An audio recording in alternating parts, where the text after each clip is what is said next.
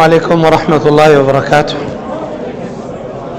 بسم الله والحمد لله وأشهد أن لا إله إلا الله وحده لا شريك له وأشهد أن محمدا عبده ورسوله.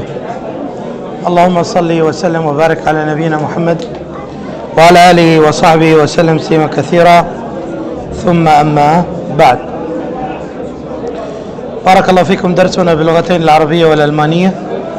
ونتابع إن شاء الله في صفة صلاة النبي صلوات ربي وسلامه عليه. بارك الله فيكم جزاكم الله خير. der Unterricht ist auf Arabisch und Deutsch und wir machen weiter mit Beschreibung des e, Gebetes von e, unserem Propheten صلوات ربي وسلامه.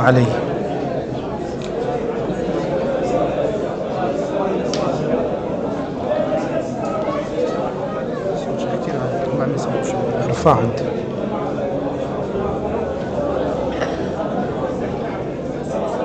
تكلمنا البارحة بارك الله فيكم جزاكم الله خيرا. تكلمنا عن استقبال القبلة وفقط مراجعة بسيطة بالنسبة لاستقبال القبلة بارك الله فيكم.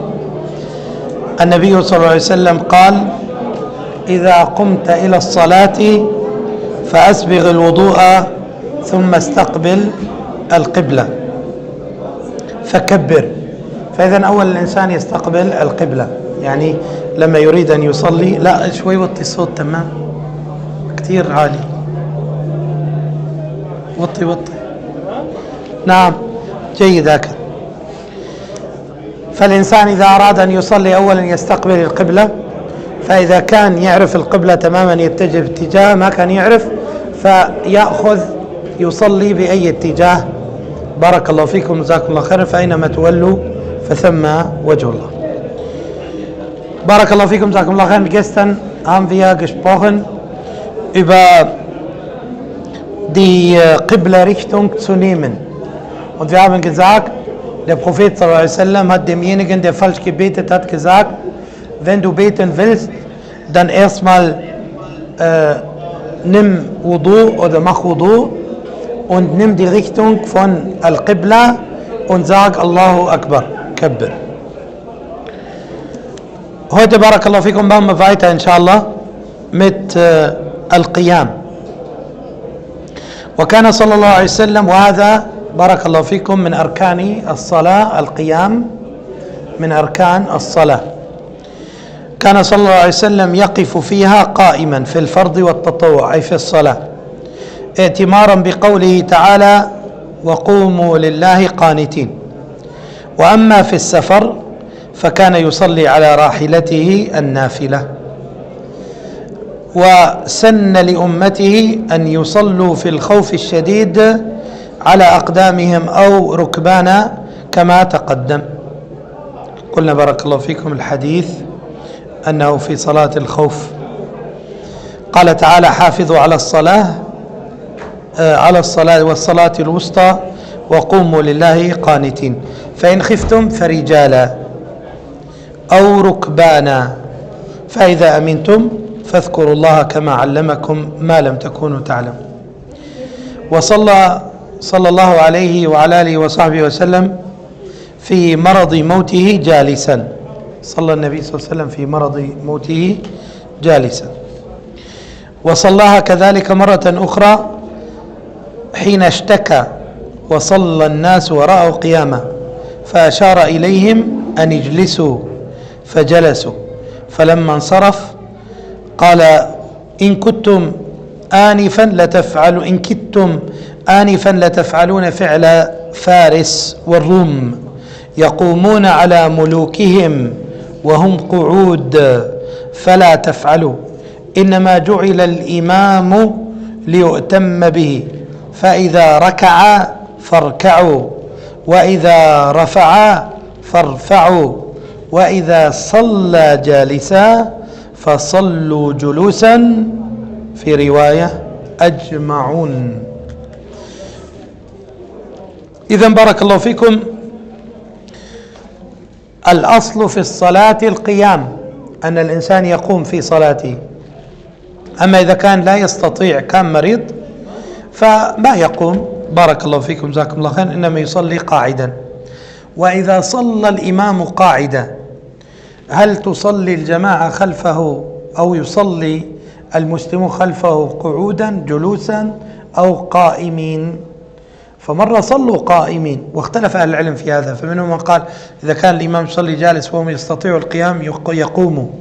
ومنهم من قال لا يتبع الإمام والحق أنه يت أنهم يتبعون الإمام لقوله صلى الله عليه وسلم إنما جعل الإمام ليؤتم به. أي الإمام من أجل أن تتابعه وتأتم به. فإذا ركع فاركعوا. شوف إذا ركع فاركعوا. يعني إذا انتهى من الركوع تركع. وإذا رفع من الركوع ترفع. وإذا صلى جالسا فتصلي كذلك جالسا كما أمر النبي صلى الله عليه وعلى آله وصحبه وسلم بارك الله فيكم وجزاكم الله خيرا das Stehen das Stehen im Gebet Der Prophet sallam, hat stets in seinem Gebet, ob das Pflicht ist oder äh, freiwillig, hat steht im Gebet äh, oder das Gebet im Stehen verrichtet. Und Allah subhanahu wa ta'ala sagt, وَقُومُوا لِلَّهِ قَانِتِينَ Das wird, ihr sollt vor Allah subhanahu wa ta'ala stehen mit Demut. Aber auf der Reise hat der Prophet sallallahu alaihi wasallam auf sein Reittier gebetet, das wird im Sitzen auf dem Reittier. Und gestern haben wir das erklärt. Und der Prophet sallam, hat seine Umma erklärt, wenn sie in großen Angstzustand sind oder im Kampf, dann können sie, Barakallahu fikum, Sakumullah khairan, entweder sitzen beten, auf Reittier beten oder im Stehen beten. Und der Prophet sallam, hat im Sitzen gebetet, als er krank war, bevor er starb. Salawatu Rabbi wa salamuhu alayhi. Auch Barakallahu fikum äh, war der Prophet sallam krank und dann hat er gebetet im Sitzen und die Leute hinter ihm waren im Stehen. Dann hat der Prophet sallam ihnen Zeichen gegeben, dass sie sitzen. Und nach dem Gebet sagte wasallam, gerade wollt ihr das tun, was die Perser und die Römer tun. Während ihre Könige sitzen, stehen sie. Deshalb macht ihr das nicht. Der Imam ist dafür da, dass er gefolgt wird. Wenn er Ruku' macht, dann macht ihr Ruku'. Wenn er sich verbeugt, dann verbeugt euch. Und wenn er sich vom Ruku' wieder zurecht steht, dann macht ihr das auch. Und wenn er im Sitzen betet, dann betet ihr auch im Sitzen. Dann betet ihr auch im Sitzen. Dies ist umstritten zwischen den Gelehrten. Manche Gelehrten sagen, wenn der Imam im Sitzen betet und äh, die Jama'a, die Gemeinschaft, kann im Stehen beten, dann sollen sie im Stehen beten. Andere Gelehrten sagen, der Prophet hat das klar erwähnt und erklärt. Wenn der Imam im Sitzen betet, dann beten alle im Sitzen. Wenn der Imam im Stehen betet, dann beten alle im Stehen. Die sollen nicht was anderes tun als der Imam, sondern sie folgen dem Imam. Und passt auf bitte, wenn er Ruku' macht, dann macht ihr Ruku'. Das wird, wenn der Imam fertig ist von Ruku', dann machst du Ruku'. Nicht bevor der Imam Ruku' gemacht hat, das wird sich verbeugt, dass du dich verbeugst vor ihm. Das darf man nicht. Wie gerade zum Beispiel die ganze Zeit mit Amin. Amin sagen die Leute vor mir. Und ich bin der Imam. Aber wenn die Leute vor mir sagen, was, was, was können wir machen, möge Allah subhanahu uns bewahren. أما المريض أما المريض فلا بأس أن يصلي جالسا إن لم يستطع القيام صار مريض ما يستطيع يقوم فيصلي جالسا فعمران بن حسين آه معلش بس مسألة. أنا ما بفهم ليش الصوت العالي لهالدرجة يعني.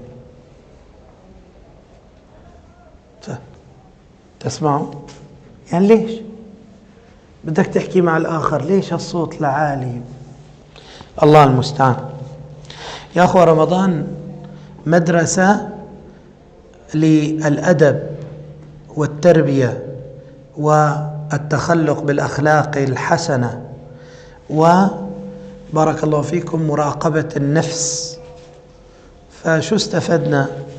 ما الذي يمر عليه رمضان ويمر عليه رمضان؟ ولا مراقبة للنفس ولا تربية ولا تغيير. إلى الأفضل. نسأل الله العافية. السلام. Nur etwas nebenbei. Barakallahu fikum, Sakumlachen. Komischerweise gibt es einige, wenn sie miteinander reden, sich schreien. Ich meine, sie sind draußen und wir sind drinnen und wir hören gerade wir hören gerade zu, wie sie laut schreien. Man kann man miteinander normal nicht reden. Subhanallah. Ramadan oder durch das Fasten hat man Selbstkontrolle. Durch das Fasten ändert man den Charakter.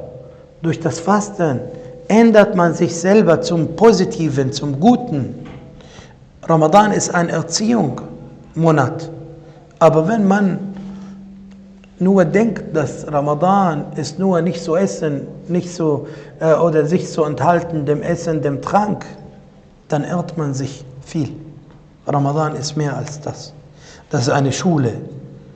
Schule für dein Herz, Training für deinen Körper, alles zusammen. Aber wenn man das nicht versteht, dann hast du so, was wir gerade nach dem Gebet gehört haben und was wir gerade hören.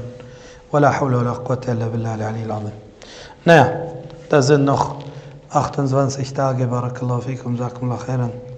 Und dann kehren wir zurück zu unserer Normalität. Deshalb müssen wir Geduld zeigen. Das, das kennen wir schon. ولا حول ولا قوة إلا بالله العلي العظيم. هي بارك الله فيكم لسه هالكم يوم بس يخلص رمضان. هذا العدد هذا اللي شايفينه كله. ما عاد تشوف ربعه؟ لا. تلت؟ لا. عشر؟ لا. يمكن بارك الله فيكم. ربع الخمس من العشر من العشر. نسأل الله العافية والسلام. وهذا الواقع. على كل. صلاة المريض جالسا. فالمريض بارك الله فيكم له أن يصلي جالسا. عن عمران بن حسين رضوان الله عليه قال كانت بي بواسير. فسألته رسول الله صلى الله عليه وسلم فقال صل قائما فإن لم تستطع فقائدا فإن لم تستطع فعلى جنب. وقال أيضا سألته عن صلاة الرجل وهو قاعد. فقال من صلى قائما فهو أفضل. ومن صلى قاعدا فله نصف أجر القائم. ومن صلى نائما وفي رواية مضطجعا فله نصف أجر القاعد والمراد بهذا المريض. فقال وقال أنس خرج رسول الله صلى الله عليه وسلم على ناس وهم يصلون قعودا من مرض فقال إن صلاة إن صلاة القاعد على النصف من صلاة القائم. وعاد صلى الله عليه وسلم مريضا. فراه يصلي على وسادة فأخذها فرمى بها فأخذ عودا ليصلي عليه خشب يعني. فأخذه فرمى به وقال صلي على الأرض إن استطعت وإلا فأومئ إيماء واجعل سجودك أخفض من ركوعك. ترى هاي الصلاة على الكرسي فيها نظر. ولكن الآن إذا بدك تقول للناس هذا الكلام الله المستعان. هذا الحديث واضح. بارك الله فيكم في هذه المسألة. رأى رجلا يصلي على وسادة. فقال له لا. فصلى على خشبة يعني توضع مثل الجذع وتجلس عليه. فقال لا صلي على الأرض. أما الإنسان إذا ما يستطيع يصلي على الأرض فهذا هو مضطر وليس مخير. ولكن سبحان الله في كثير من الأمور بعض المسلمين يعني تجده آه، في بعض المسائل مثل الصاروخ مثل السهم. لما تيجي للصلاة يقول لك أي ظهري أنا أصلي على الكرسي. وغريبة أنه مثلا في يوم الجمعة أنت بتشوف هيك شباب صغار سواء ما تلاقيه يعني لو لو نطنط على الجدران لنطنط وتعرقش على الجدران. ولكن لما يجي للصلاة قال بده يصلي والله على الكرسي. فلا حول ولا قوة إلا بالله العلي العظيم. بارك الله فيكم جزاكم الله خير. dass ein Kranker im Sitzen betet. Und zwar Imran ibn Hussein erzählte, der sagte, ich hatte Hämorrhoiden gehabt. Deshalb habe ich den Propheten sallam, gefragt, wie er beten soll. Dann sagte der Prophet sallam, bete im Stehen. Wenn du nicht kannst, dann im Sitzen. Nicht kannst. Nicht willst, wenn du nicht kannst, im Stehen, dann im Sitzen. Wenn du nicht kannst, dann im Liegen. Dann im Liegen. Und auch Imran alayhi sagte, ich fragte den Propheten nach dem Gebet von einem im Sitzen. Er sagte, wer im Stehen betet, ist besser. Wer im Sitzen betet, hat die Hälfte des Lohnes von im Stehen Betenden. Und wer im Liegen betet, hat die Hälfte vom Lohn von demjenigen, der im Sitzen betet. Und das geht hier um Krankheit. Und der Prophet hat einige Leute gesehen, die haben im Sitzen gebetet. Er hat gesagt, das Gebet von einem Sitzenden ist die Hälfte von dem Gebet von einem im Stehen Betenden. Und der Prophet hat einen Mann besucht, der krank war. Und dieser Mann hat so auf ein äh, wie Kissen gebetet. Der Prophet hat ihm gesagt, mach das weg. Er hat das genommen und weggemacht. Dann hat diese Person ein Holzstück genommen und er saß drauf. Der Prophet hat das weggenommen und er hat das weggeworfen. Dann sagte ihm, bete auf dem Boden. Bete auf dem Boden, wenn du kannst. Wenn du nicht kannst, dann kannst du sozusagen mit deinem Kopfzeichen machen und mach dein Sujud tiefer, dann Niederwerfung tiefer als dein Verbeugen. Das wird theoretisch, dass man auf Stuhl sitzt, äh, betet, das ist fraglich. Barakallahu fikum, sakallahu khair. Aber komischerweise sehen wir einige Muslime, wenn es zum Gebet kommt oder wenn, das, äh, wenn er beten will, dann will er auf Stuhl sitzen oder im Sitzen beten. Und wenn er was anderes macht, dann kann er so viel tun, möge Allah uns bewahren. Auf jeden Fall, aber wenn man wirklich nicht kann, dann ist es was anderes. Wir merken das manchmal zum Beispiel in Jumu'ah, Barakallahu fikum, dass einige Leute, die jung sind, die nicht krank sind, der will im Sitzen bleiben, der kann nicht auf dem Boden sitzen. Warum? Weil er das nicht gelernt hat. Möge Allah uns bewahren. طيب hier stoppen wir بإذنه تعالى. möge Allah سبحانه وتعالى von mir und von euch annehmen سبحانك اللهم وبحمدك أشهد أن لا إله إلا أنت أستغفرك وأتوب إليك. السلام عليكم ورحمة الله وبركاته.